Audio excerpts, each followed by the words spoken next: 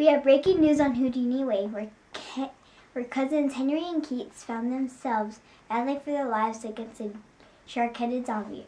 Our story begins when the boys lost their bikes in the river at the bottom of a steep cliff hill and, needed to earn money to buy new ones. They found a help wanted ad outside Purple Rabbit Market that promised big new money for doing jobs at Hallway House. The boys found out all the list of jobs taped to the door from Mr. Archibald Sigum, who was not home at the time.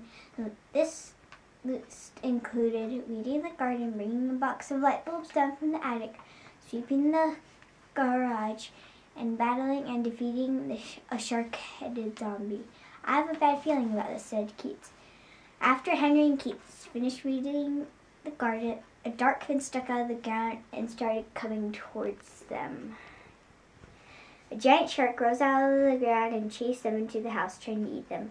They shut themselves in the house and pressed alarm. It soon became clear that this house was magical. Mr. Sigum had even some spell books and a wand that looked like a stick with a broken light bulb on it.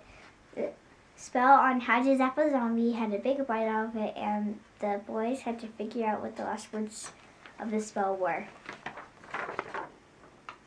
Meanwhile, a shark-headed zombie was trying to break through the wall, and Henry and Keats had to fight their way through a sinkhole in the kitchen, a rug full of faces in the hallway, and bookworms the size of giant snakes. They had to outsmart the bookworms to break out of the library, and that's when Keats found the missing part of the Zap the Zombie spell.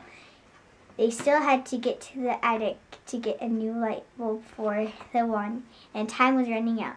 They climbed the, to the attic and found a box of light bulbs.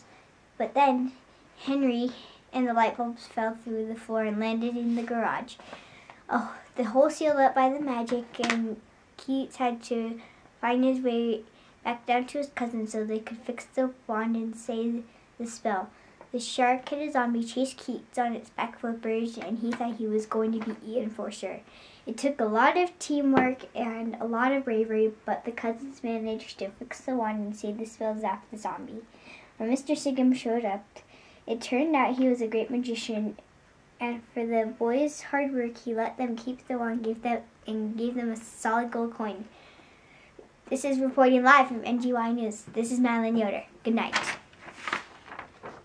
Attack of the Shark-Headed Zombie by Bill Doyle.